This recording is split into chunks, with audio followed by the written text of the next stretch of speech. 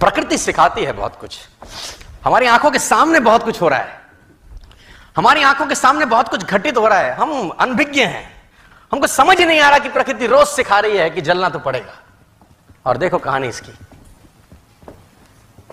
ये board kingdom का राजा है। ईगल। प्रकृति रोज सिखाती है कि you want to become eagle तो आपको जलना पड़ेगा। सत्तर साल औसतन उम्र होती है। सत्तर साल ईगल का उम्र होता है, सर। लेकिन इसकी कहानी का ट्विस्ट क्या है, और वो ये है कि 40 साल जब ये हो जाता है तो इसकी जो चोंच है, ये बेंड हो जाती है आगे से। सॉफ्ट हो जाती है। शिकार नहीं कर पाता। वेन ई रीच 40 इसकी चोंच बेंड हो जाती है सॉफ्ट हो जाती है। शिकार कर करके कर करके कर करके शिकार नहीं कर पाता। इसके जो पंख हैं जिससे उड़ता है, वो इतने भारी हो जाते हैं कि वो छाती से चिपक जाते हैं।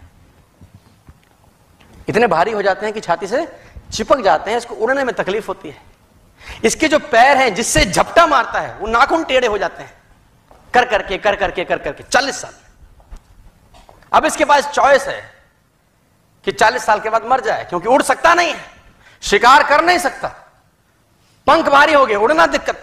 शिकार पकड़ नहीं सकता, क्योंकि पैर के नाखून खराब हो गए, और पकड़ भी ले तो चोंच से उसको मार नहीं सकता। अब इसके पास चॉइस है, चालीस साल में क्या वो मर जाए। लेकिन मैं आपको बताना चाहूँगा, प्रकृति सिखाती है कि ईगल ऐसा नहीं करता। चालीस साल की उम्र में ईगल अपने एरिया की सबसे ऊँची चोटी पर चला जाता है। और जो चोंच है, उसको सामने वाले पत्थर पे मारना चालू करता है। जब चोंच पत्थर पे मारी जाती है तो पीड़ा होती होगी।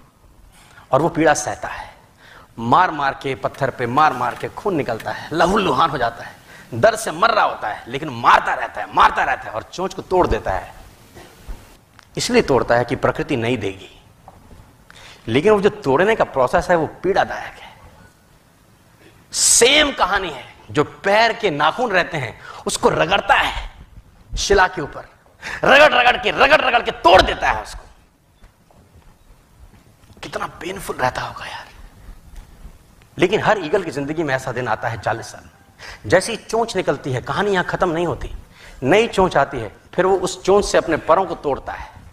अपने जिस्म से अपना ही पर उखाड़ता है क्योंकि वो पर उसके उड़ने के लायक नहीं रहे। भयंकर पीड़ा होती होगी, भयंकर। लेकिन इस प्रोसेस से हर ईगल गुजरता है अपनी ज़िंदगी में सर और 40 साल के इस प्रोसेस में छह महीने के बाद वो एक नया ईगल होके 30 साल और जीता है। 30 साल और जीता है सर